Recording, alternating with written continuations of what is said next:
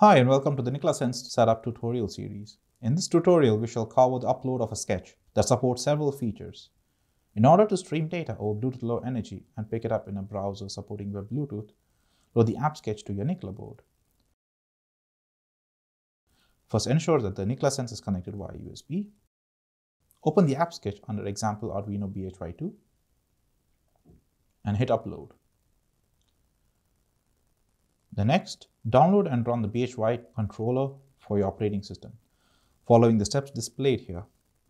The tool can create a web server to connect and visualize the board's data.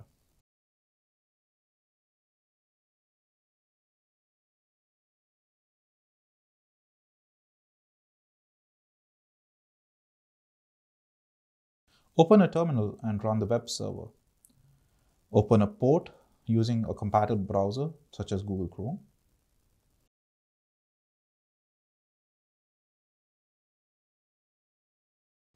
Connect the board via BLE and enable the required virtual sensors.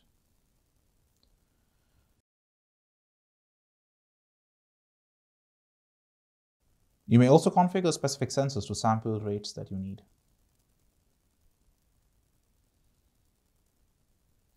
Thanks for watching.